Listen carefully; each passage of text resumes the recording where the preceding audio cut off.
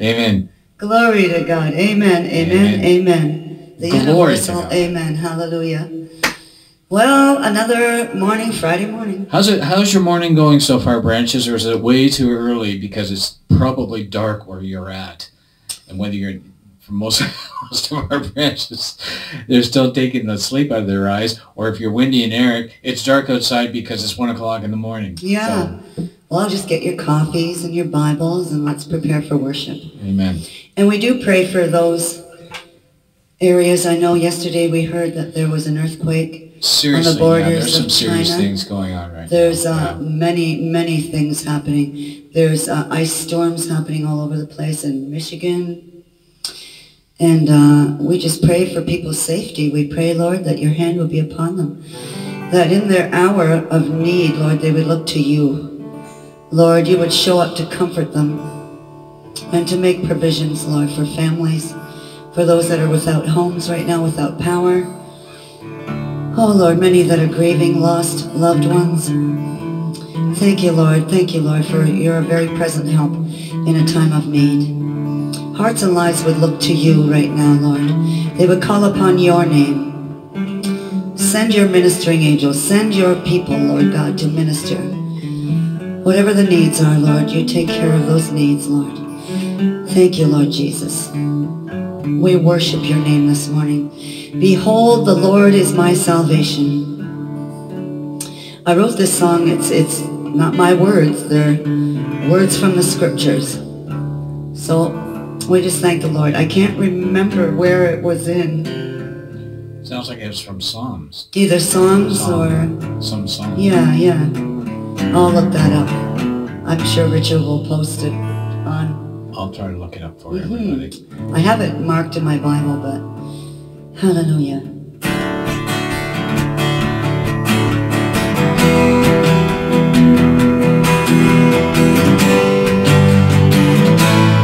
Worship you, Lord.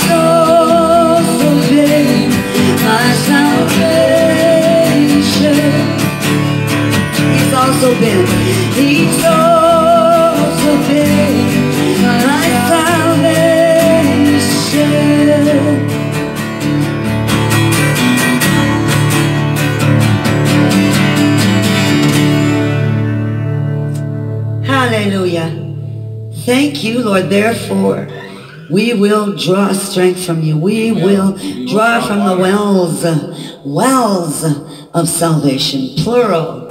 There are many wells, hallelujah, that we drink from of the Lord. And this is why Jesus called himself in uh, living water, why he told the woman at the well that if we drink of the water that he has to offer, we will never be thirsty again. Amen. You are the Lord of our salvation, Lord. Thank you, Father. Thank you, Lord. Hallelujah. So we praise your name. We praise your mighty name. You are worthy of our praise this morning, Father. We lift up holy hands to you, Lord. We lift up holy hands, the Lord of all creation. Fill our lives, Lord, with your sweet aroma. Oh, glory to your name.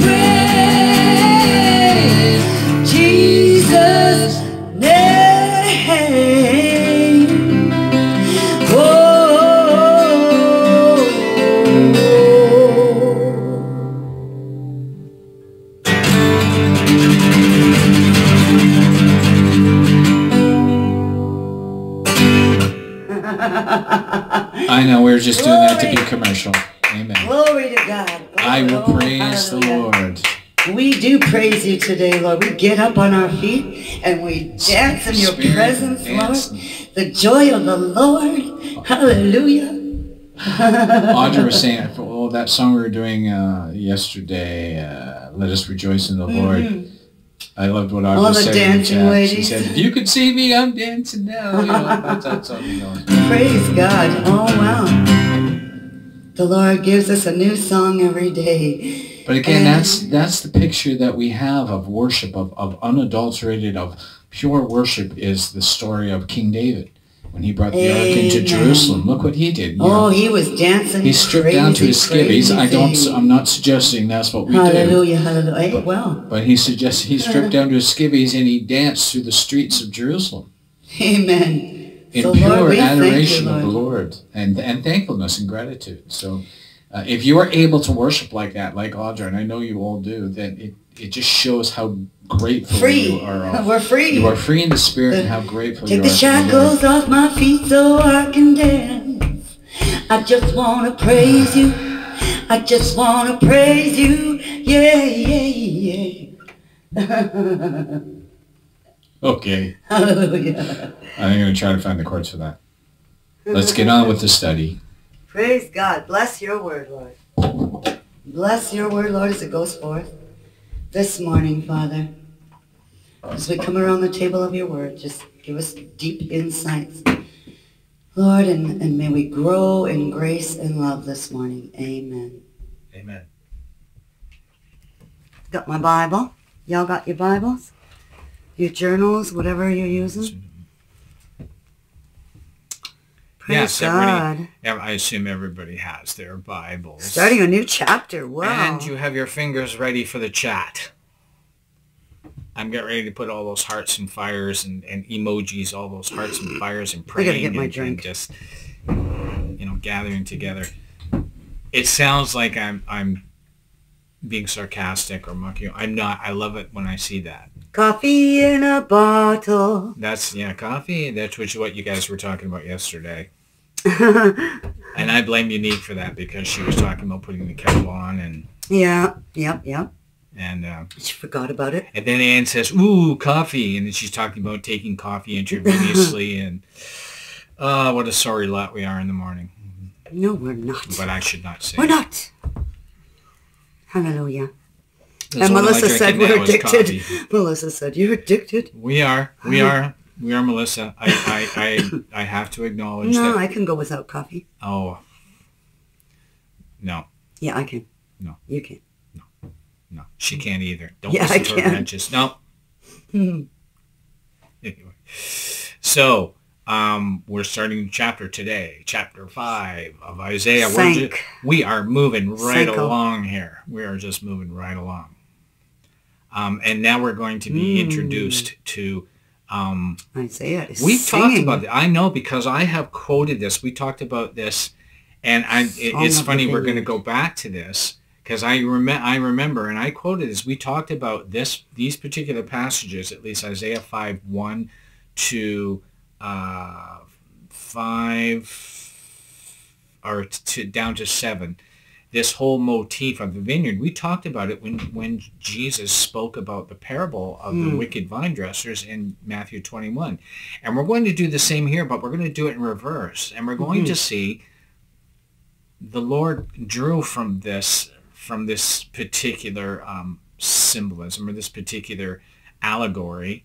Um, it says it's a song of the vineyard, of the but, vineyard. but we can, and I'm sure it was a song, but we can look at it as a parable, as an Old Testament It's parable because it parts. is.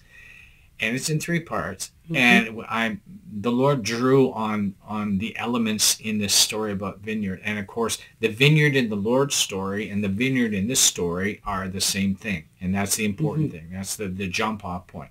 And what is that vineyard? That vineyard is Israel, the people of Israel, the chosen people. Um, and by extension, because it is a vineyard, um, the land of Israel, the uh, the promised Well, land. you know what I love is that Isaiah calls the Lord his well-beloved.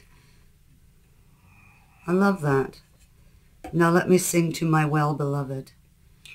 Well, we haven't got there yet Isaiah. because because Eric hasn't read anything. So the branches are going. What is she talking about? Oh, I- they're reading their Bibles I too. don't get- no, They've already. Oh yeah, yeah. no, yeah, no, yeah. they're in the chat saying Yeah. good morning to one another, and they're just ignoring you as usual. They are reading their scriptures. I'm sure they are. I'm sure they are. But let's, Eric, you and I are behind, so let's let's catch up here and let's read uh, the fifth chapter of Isaiah from one to where's your first? Two. Oh, verse two. Okay. Mhm. All right. Let's let's just start with the first two verses. Eric, if you will, my friend. The Book of Isaiah, chapter 5. Now let me sing to my well-beloved, a song of my beloved regarding his vineyard. My well-beloved has a vineyard on a very fruitful hill. He dug it up and cleared out its stones, and planted it with the choicest vine. He built a tower in its midst, and also made a winepress in it. So he expected it to bring forth good grapes, but it brought forth wild grapes. You know what I love here? I love how he says, "My beloved." Mhm. I just love that. Oh, me too. Me too. You want to say something about that? Huh? I just love the way Isaiah says, "My well-beloved to the Lord." My beloved. So Yeah, let me it's a sing for my beloved a love song. My beloved. We're all getting an echo here of, of um, the Song of Solomon. Mm. Um, it, it, singing a song to your beloved, and It's this, endearing terms. and this is what our music industry is based upon: is writing songs of love, where you're writing these songs, the majority of them are love songs to someone that you love, the most important person in the world. And of course, they become multi-million dollar se- sellers. Why? Because we all have that common experience. We all have that common emotion where we love, you know, there's that special someone, a special, Most people, yeah. and, and hopefully it's your husband and wife. But um, again, without going into too much detail, that relationship is the most relationship that the most deep and fulfilling relationship that we have as human beings, which is why, and God put that into us, which is uh, it that Yes. it, that expression of for love. love. for one another And the need to give love. It comes out of hmm our our love, our either it's our subconscious, the love of our soul for its creator. Yes. It, if if I could say it that way, um, that ultimately our love is is to the Lord, but we are to also love our husbands and love our wives, Love our neighbors Although- and love our neighbors as well. as ourselves. Um, but in this case, this this kind of love that we're talking about is is a romantic kind of love, very And endearing. deep. Um, again, you've all heard the teachings on the, the four different Greek meanings of love, and we only have one word in the English language that expresses all of those things, and that's love. So, um, but it could be brotherly love, it could be romantic love, it could be Well, it's a uh, love that lays down love its of the life Lord.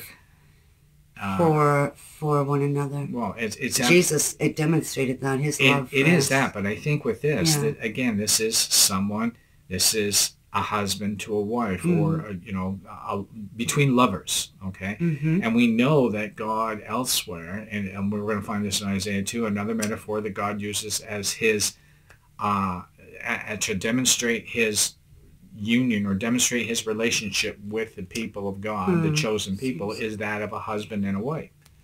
And we know that because that's translated into uh, our own faith and the faith of Christianity because we understand, we've had some roundtables about this, but we have we understand that the church is the it will be part and I'll play a large part of the bride of Christ, and we understand. And I've said it many times for communion. We've said it in passing a lot of times how um, we are ter- we are waiting upon the Lord to return from making these heavenly habitations for preparing a place for us as a Jewish gr- bridegroom would have done preparing a place for his bride for his bride.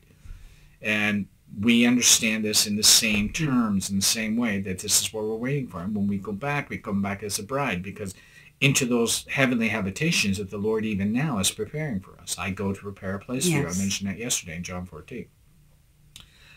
So I think because, and he calls it my love song concerning his vineyard. Amen. Okay.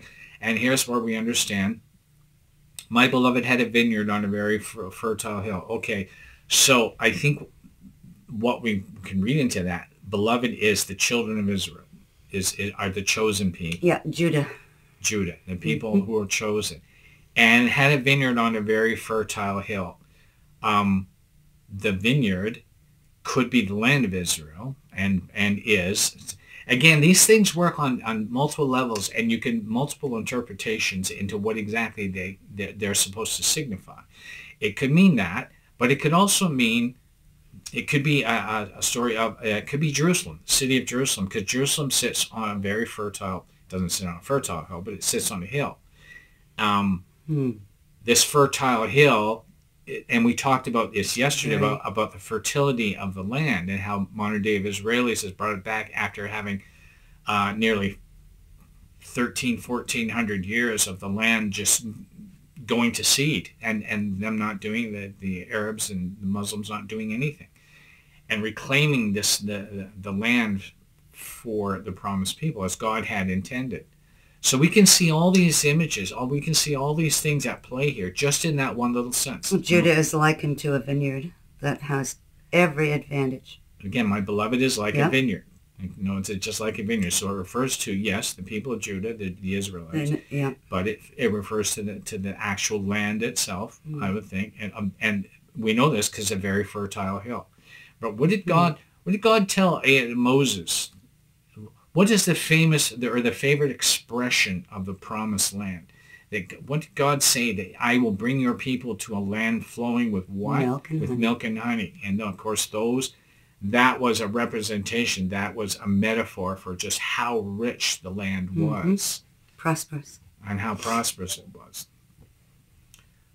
And so he dug it and he cleared the stones and he planted it with choice vines. And of course, this is the idea of how Israel was brought out of Egypt and they brought, and, and as God even told them through Moses, He's the He told true them, he said, dresser. you will have, you will have, you will receive vineyards that you didn't plant. You will live in Mhm. houses you didn't build. You know, you will take these things because I am giving them to you.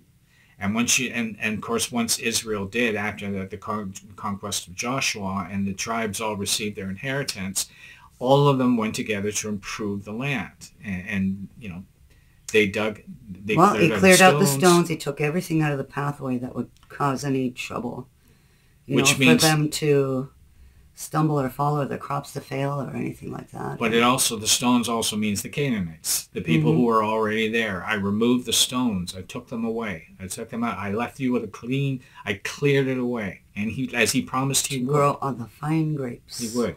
Mhm. And he planted it with choice vines. And again, here's, here's another way of him. He's describing his people as choice vines.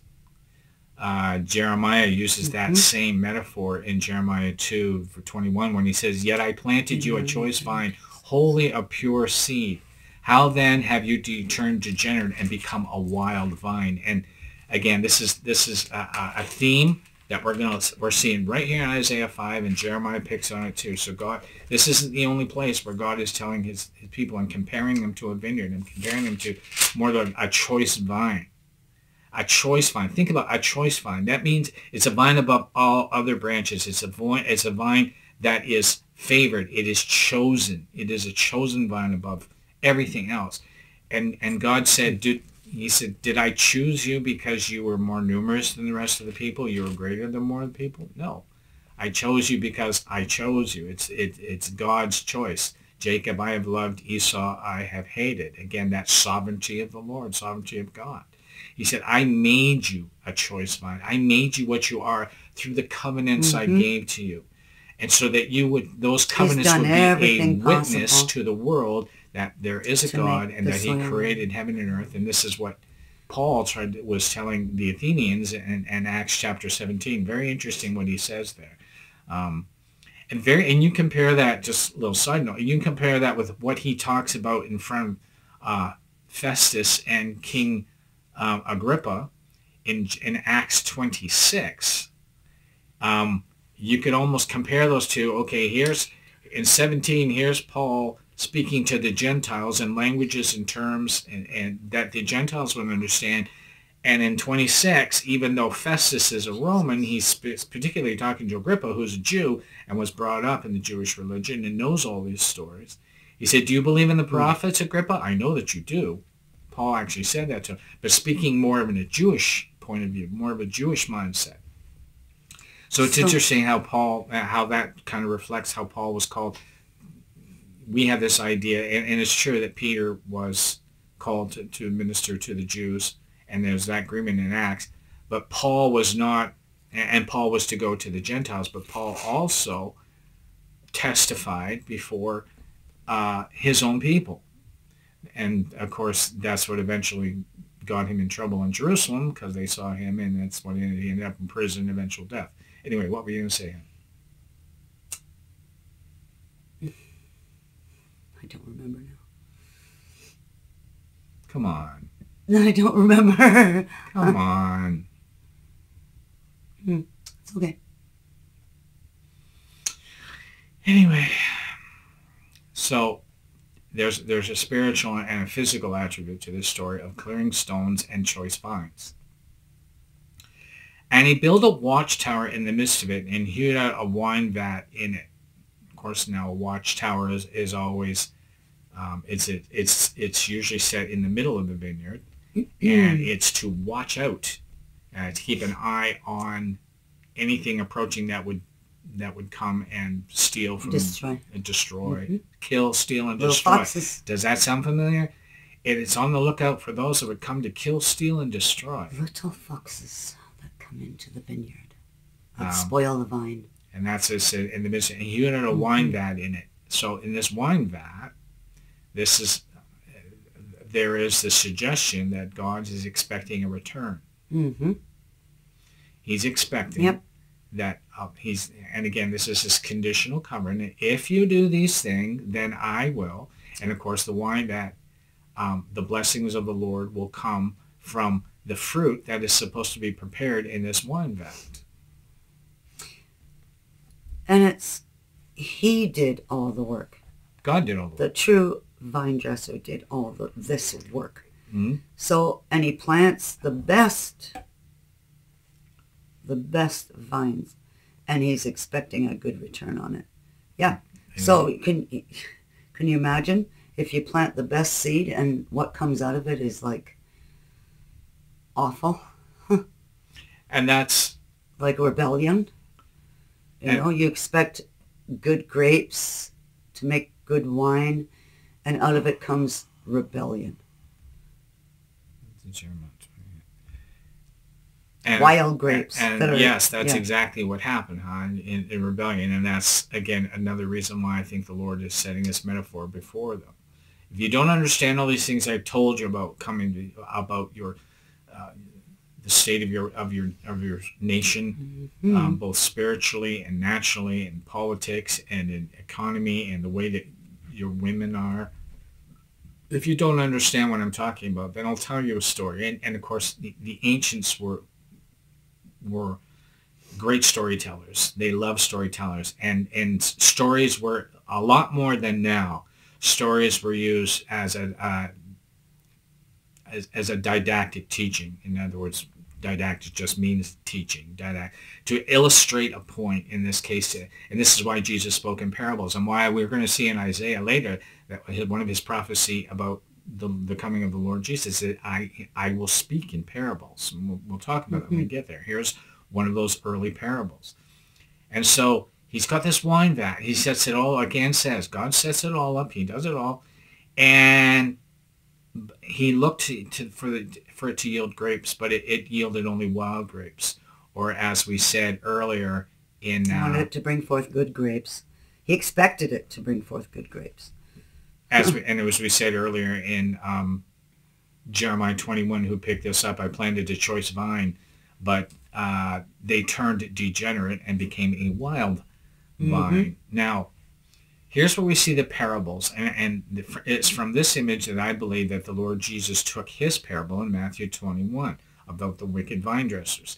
And we almost get the same idea because the Lord said that he, um, let me go there directly. Um, hey, that's not what we wanted, is it? Oh, parable of the tenants.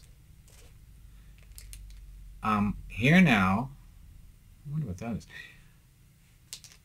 Uh, He starts in, in Matthew 21, verse 33. He starts this parable, and this is what we talked about in the parables. He talked about how there was a master of a house. And of course, as we discussed that, and Anne just pointed out now, there was a master of the house. This is God. Okay? God is speaking in Isaiah 5, but this is now Jesus telling a story, in past tense. There was a master um, who planted a vineyard. And of course, God is telling in Isaiah 5 that I'm that putting you in the land of flowing with milk and honey in the, in, in the um, promised land is, is, is like me creating a vineyard and all these things. And we just looked at these images. And Christ used these same images. He said he put a fence around it. He dug a wine press, just like here. It says he hewed out a wine vat in uh, verse 2 here of chapter 5. But Je- the Lord Jesus says he dug a wine press and he built a tower. Same thing as in chapter 2. He did all these things and he leased it to tenants and went into another country. Now this is another way. He leased it to tenants. Mhm. And this is a this is one detail that we don't have. Um, we don't have in, in chapter five because it again it's it's the master it's God speaking to Israel. And he said I did this. I I hewed it. I put the watchtower up tower up. I cleared it of stones. I did all these things. But he doesn't really say anything about and I put you in it. That's kind of inferred here. I put you in it. I dug it for you. Because Mhm. He, he says in verse 1, it was for you that I did these things. And so it's kind of inferred here. Uh, but Jesus kind of puts puts an interesting understanding in in that in his by his time the, the Jewish nation thought it was their right. The Jewish nation thought it was their uh, their prerogative as God's favorite of God's chosen people to be in the land. Again, as I mentioned before, at, they had this idea that as long as the temple stood in Jerusalem, there the nation would never fall. Judah would never fall. Israel would never fall. And they forgot, and Jesus was reminding them by the terms that he used in his parable, the land was leased to tenants. Okay? Mhm. And if you're a tenant, and, and those care those of you who are renting, take care and we've all rented at some point, but even a mortgage those you have to sign a rental agreement. You have to sign a tenant Mm-hmm. agreement, right? Because you don't own the property. And that's what all the covenants of God were about. He said, when he said, I will give you the land, again, it was conditional on that they would do all these things that the Lord, that they would not abandon their worship of God. They would not commit idolatry like they were doing. Um, and as long as they were faithful to God, God would be faithful to them and keep them in the land. But the minute they were started to be unfaithful, and again, the patience of God is mind-boggling because he, he, he was patient for a long time with them that they would repent and turn. But they didn't. And of course, this is what Jesus was talking. He was talking about these very people, wicked vine dressers, wicked tenants who agreed, made a perhaps made a verbal agreement that they would give the master the produce of the vineyard, just like it says here, um, as part of their tenancy uh, ten, uh, tenancy agreement, that they would give him a portion, and as Jesus said in his story, that they, that they would give them a portion of the harvest. That was the deal. That's that was them them paying their rent, so to speak. And although he doesn't go into details in Isaiah here, he says, God says, I looked for it to yield grapes. I Mhm. gave it to you. I expected it. I expected it uh, for everything that I've done with you. Yes. But you yielded only wild grapes. hmm And the wine press here, it's, the, the wine press usually represents judgment. Well, it certainly does The- in the book of Revelation. The pressing, the wine press, you know. I will send in the wine pressers, the wine pressers. you Yep. know. Moab was used as a wine presser. But but here's where there's a little, uh, again, I, I think the Lord Jesus is providing a little more detail behind Hmm. the, the actual spiritual Judgment is coming. it's a spiritual truth that's in this particular little parable about the song of the vineyard in that these tenants it does it doesn't say jesus doesn't mention anything about the harvest in his story about what kind of grapes this particular vineyard did. In any way it's kind of like you have to really think about it that they did bring forth a harvest and they did bring forth wild grapes but it's more at like jeremiah said they became degenerate and they became a wild vine. They they they um turn not turn their backs i'm trying to forgetting the word that i'm using but they had no intention of of uh, fulfilling their part of their agreement their their rental agreement with god for the land. Again they got in this mindset that they thought they owned the land. And and um, again it's and and that gives it what happened with when John the Baptist was preaching and he said don't say to yourselves that we are sons of Abraham and that is enough. Hmm um, because God can create can bring up sons of Abraham out of these very stones. He said you're only here because he he's allowing you to be here and it's because the agreement that the rental agreement that you gave but you forget. You think this land belongs to you.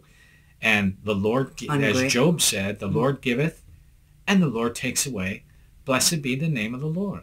Mm-hmm. Hard saying but that's that's mm-hmm. true and it's very true here and true in the story that our lord was speaking about the vineyard of his time. So he doesn't mention anything about the the the, the natural produce of the vineyard which is the whole point. He, they did have a harvest and it sounds like they had a rich harvest and so the master sent you know again the lord going into more details he sent his servants to go and collect what was his and of course you know the story and from then on they beat them and they they turned them out and then they killed the son the an heir who came and what was their motivation for doing that if you remember their son their motivation was here here's the son he's the heir so we kill him the vineyard will become ours right.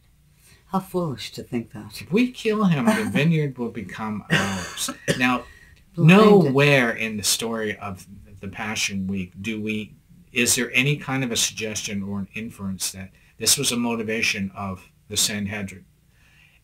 I think it was. They just didn't realize it. This is because of this attitude of we're not renters. We actually own this land. We're squatters. They wouldn't even have thought of themselves as squatters. They just said God gave us the land and it's unconditional. No, it's not con- unconditional. It is Mhm. conditional. Yeah. He took you out 500 years before that. He'll take you out again. 600 years. Um, and but their motivation is that and, and I don't want to put too fine a point on here, but as one way you can look at this whole trial with the Lord Jesus and the Sanhedrin is that's the whole motivation. This is the Son. If we kill him, we'll get the vineyard. Again, Mhm. that would have to We'll come have to the authority. that would have to ha- come to the conclusion that they actually believed what Jesus was saying, that he was the Son of God, and that. But they were asking him that at, at the trial. Are you the Son of God? Tell us in the name of the of, of the Beloved. Are you the Son of God? And Jesus says yes, and you will see the Son of God coming with power and great great glory. And of course, they lost their minds. But again, it gave them an excuse to, to put the Lord Jesus to death. But I'm not the, the Sanhedrin and the, and the Jewish leaders at the time would not have articulated it that way. That that this is the Son. Let's kill him. But Jesus was telling them their hearts in this story before he even got there. Even before they did this, even before he appeared before them, he was telling them, "This is this is why you're going to kill me, because the, hmm. the the enemy, the devil, will will move your hearts and move your minds to see me as a blasphemer and to kill me." And it's the, Standing in their way. the power behind the throne. Maybe that's a better way of putting it. Maybe the, it, it, the devil certainly knew that. He was in that room. He was in that chamber when Jesus was there, and, and he was influencing minds. And that was he knew. He knew this was the sign, and perhaps that was. We know that was his motivation. We know it from the, the temptation in the wilderness. This is the son. If I kill him, then humanity is mine.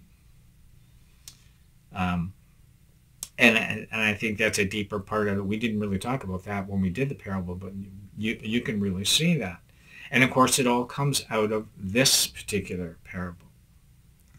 Um, and so let us now.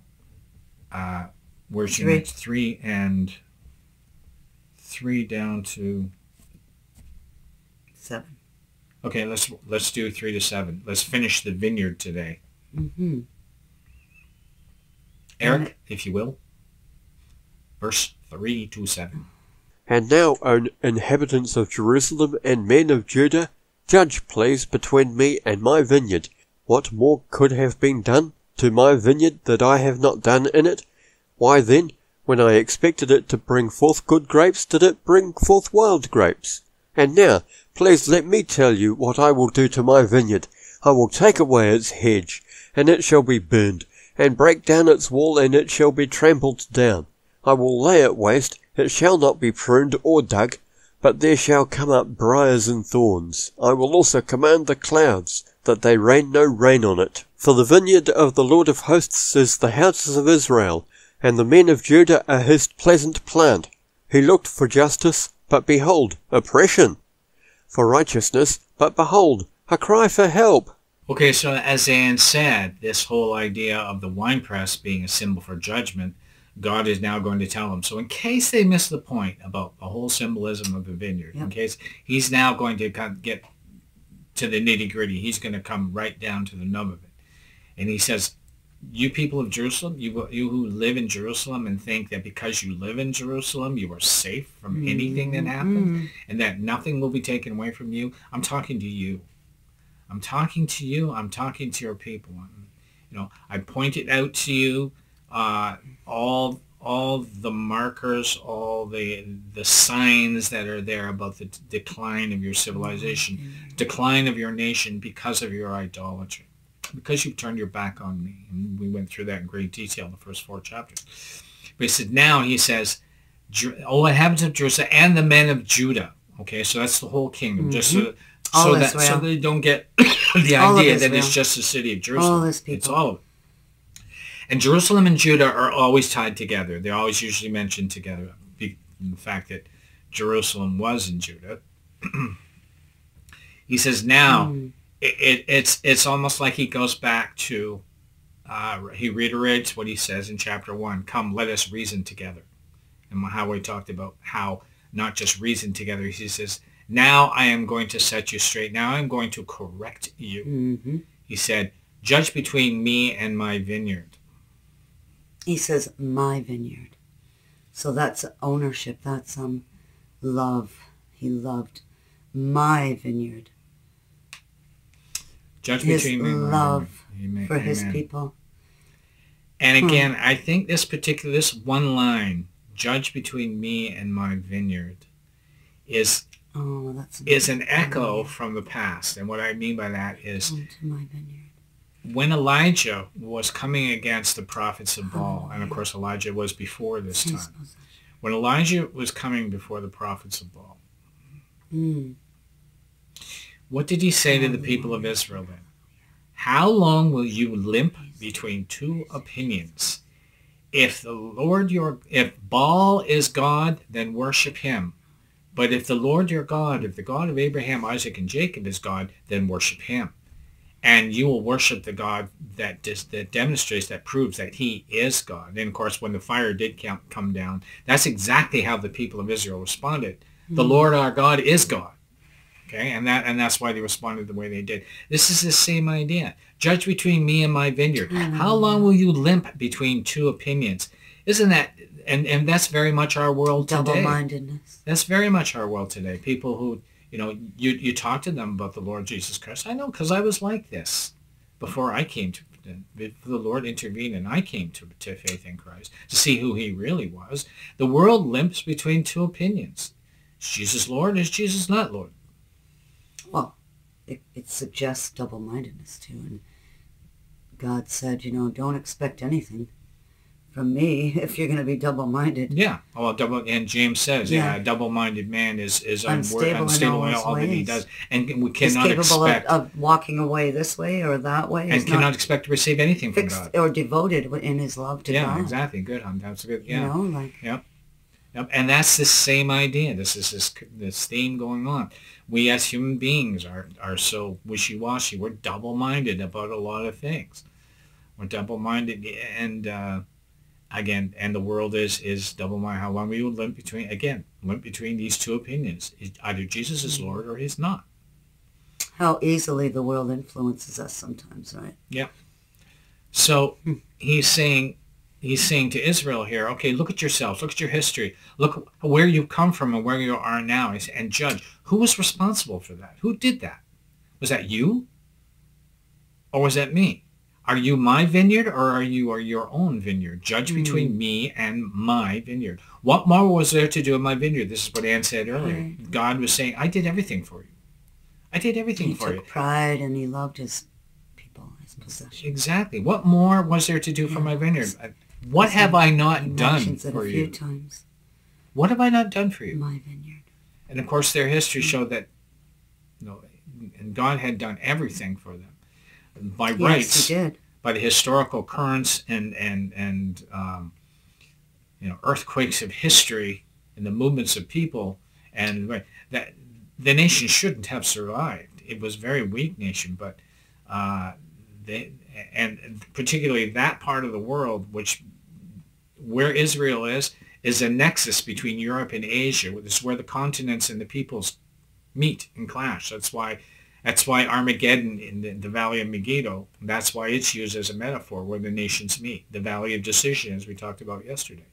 Because Israel is right square in the middle. It's where all the conquering armies meet. You know, and that's a lot of that has to, and we get a lot of that symbology in Daniel when he talks about the kings of the north coming against the kings of the south. You can, I think this is in Daniel 10, but, um, but he said, I've, I've done everything for you. And again, he reiterates this. I looked for grapes. I looked for good fruit. hmm And all you did was yield bad fruit. Ex- there was great expectation there. Great. I planted you in the land. I did everything I cultivated. I, you know, it's like that, that little hopes. story that Jesus told about the one, the the all or the the vine that that wasn't producing fruit, the olives that weren't producing fruit, or a fig Mhm. tree that wasn't producing fruit. And the owner said to the gardener, "Just no, cut it down." And the gardener says, "Well, let me let me have one more season with it, and I'll I'll cut it, I'll dig around it, and I'll put fertilizer on it." And he said, if it doesn't come through with fruit, then you can cut it down. You know, it just shows the patience and long suffering of God, and and everything that He's willing to do to make sure that He gets that proper um, harvest, The harvest of souls, so to speak. He he he gets uh, the souls that He has made return to Him with the righteousness of Christ upon him. He will do everything that he possibly can to save our souls. And he did by giving his son. And and in a relationship, it's always two sides to a story, right? Mhm. There's always there's never just one person who's failed. It's it's two people failing in different areas. But in this situation, God never fails. Mhm. It had to be them because he did everything he could. And again, that's part of the conditional part of this this so we arrangement. know, yeah, God said, I kept my part of the bargain. That's right. What have you done? that's right. And so and I'll tell and he said, I've, I've just spent four chapters telling you what you've done. And it comes down, it comes down to your idolatry, which is caused by your pride, which is ultimately caused by what? By sin.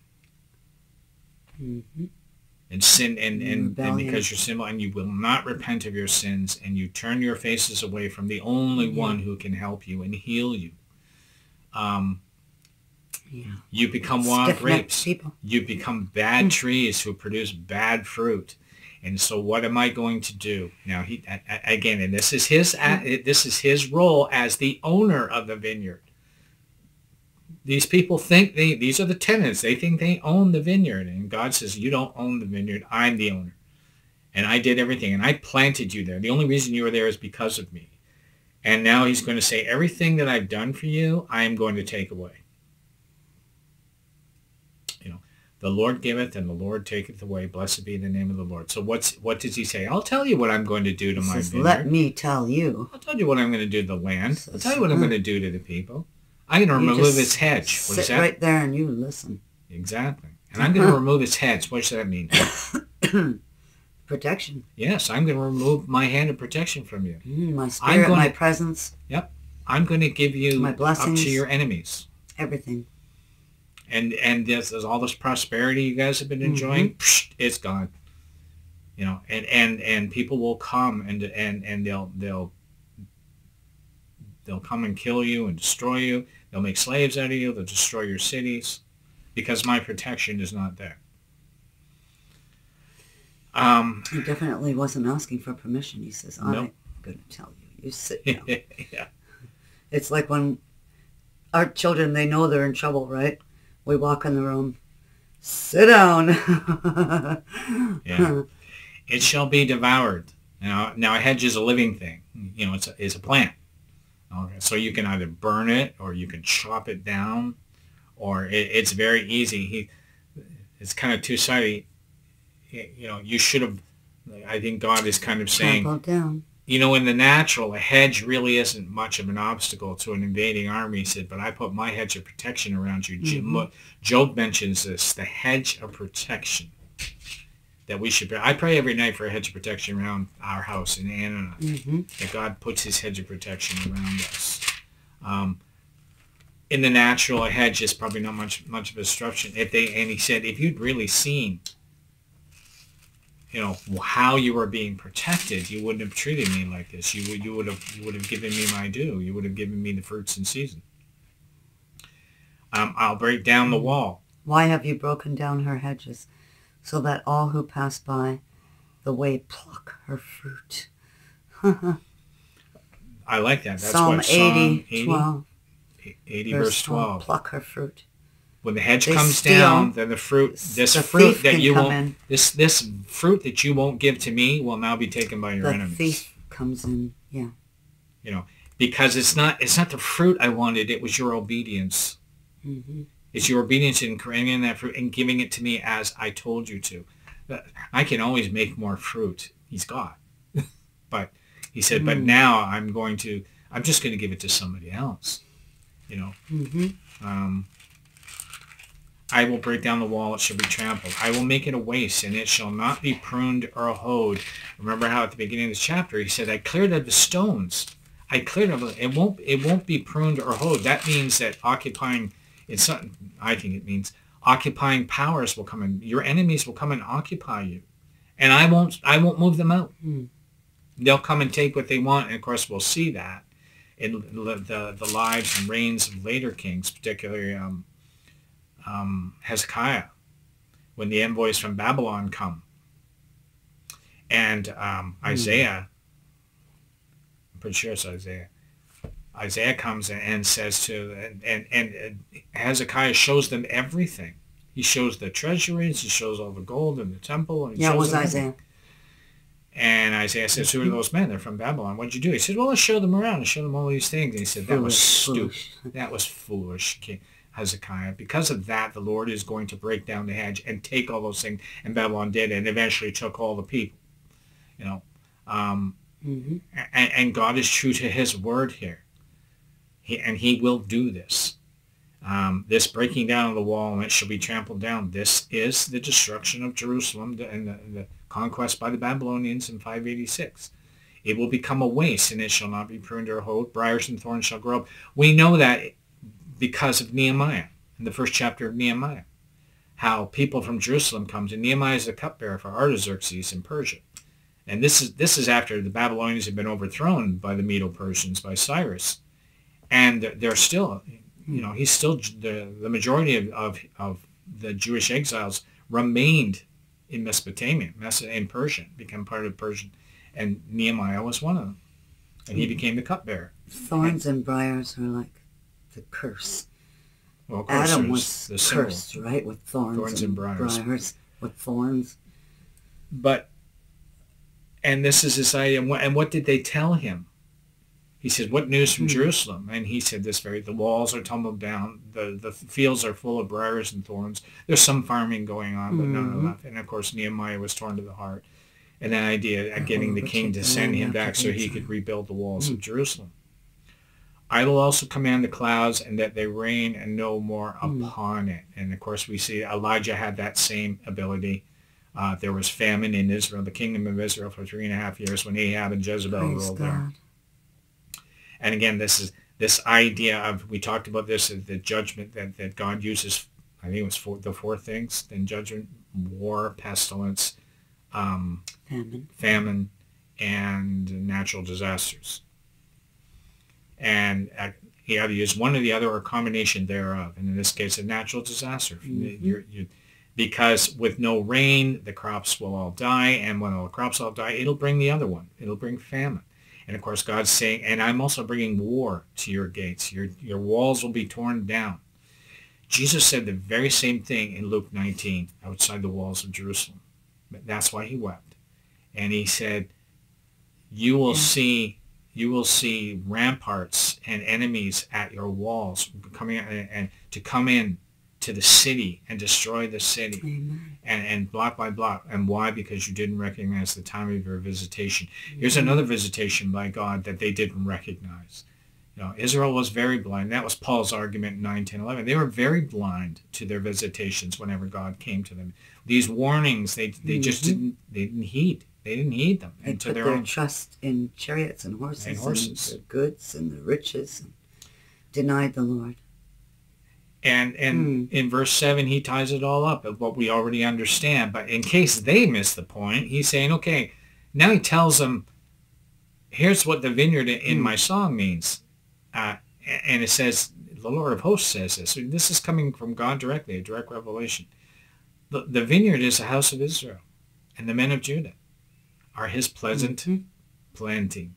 Mhm.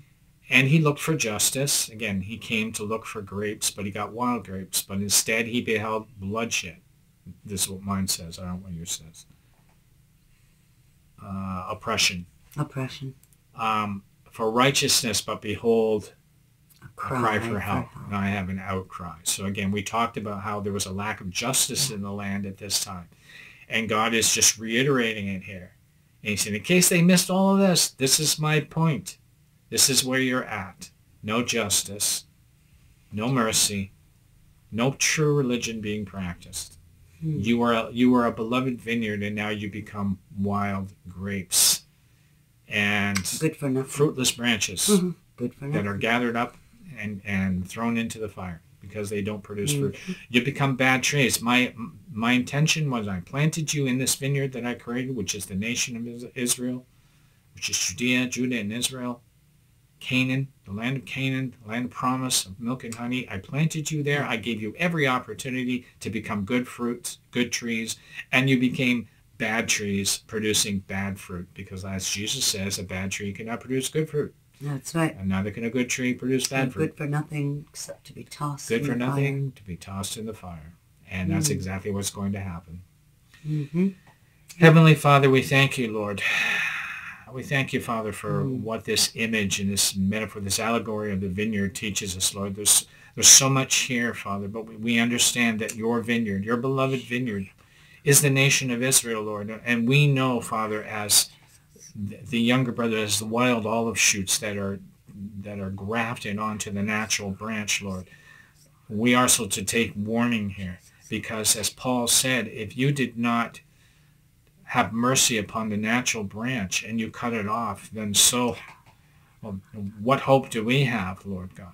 We are no longer, and we, you teach us not to make that same mistake that they did, that we are the sons of Abraham and mm. therefore we are, we are the beloved, we are, which we are.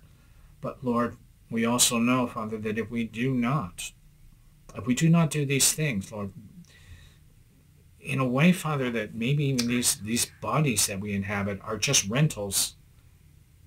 And when they're in agreement with you, you put your soul in us, Lord God, and they become us. We become these personalities, Lord. But Father, you, you call us to live righteous lives. You you you, you clear our Yes, the Lord. lives of our vineyards for us. Hallelujah. You, you you take away the stones, Lord God, and when we're like like Israel, like Judah, Lord, when we are in, in ungrateful, when we do not show good fruit, Lord God, you will say, "Depart from me, I never knew you, Lord." Heaven forbid for any of us.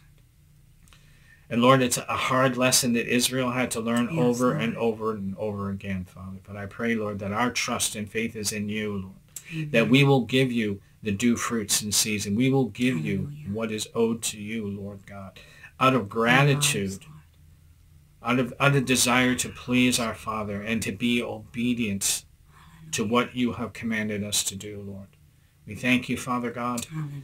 I thank you, Lord, for all the dear branches, oh, Lord, who have come here. These, these are these are fruitful branches, Lord, and I pray that you will look upon them. and You will bless them mightily, Lord. They're going in and they're coming out, Father. For they produce much fruit in your name, Lord God, because they love you with an undying love. And their desire, Father, is to see you as you are. Their desire, Father, is to see your coming. And even so, come, Lord Jesus. Father, we thank you for In all of these things and what your word teaches us and the, and the ministry of the Holy Spirit leading and guiding us into all truth. We thank you, Father, in the mighty name of Jesus. Amen. Amen. Thanks for joining us at the end of another Have week. Uh, tomorrow is is some sort of living stones. I always say it every Friday because I know because you never know. I never we don't know. We never know. But whatever whatever the Lord wants to do. Mhm. But we all know Exactly. We all know that we're meeting on Sunday night, as we always do for communion. Thank the Lord for good connection. Yep, we had great one last God. week. We'll just thank the Lord for, for your hand moving in that area. Amen. Praise God. Amen. Well, I'll be blessed. We are blessed and highly favored of the Lord. Amen. Praise God. Amen. So hopefully we shall see you tomorrow afternoon and Sunday night for communion. Amen. Love you all May the Lord You're richly bless you all. every day. You're Wait a minute. Are you suggesting they're not in my prayers? Did you hear that? She said they're in my prayers. Shouldn't she have said they're in our pr- you're you're in our prayers? Shouldn't she have said that? Bye-bye. Bye. See you next week.